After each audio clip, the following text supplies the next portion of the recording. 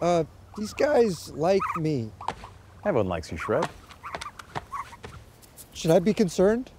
Well, it's really up to you. They are violent and strong and Wait. have famously bad Wait. temperaments. Wait, Oh, and as you can see, they're really fast. So I would kick it up a gear if I were you. In the meantime, I'll just be writing this citation. It's bad, Frank. They won't stop. It's starting to feel extremely targeted. Yeah, well, they either see you as a food source or a potential mate. Either way, I would just let nature take its course. They're relentless. But don't worry, I'm getting all of it.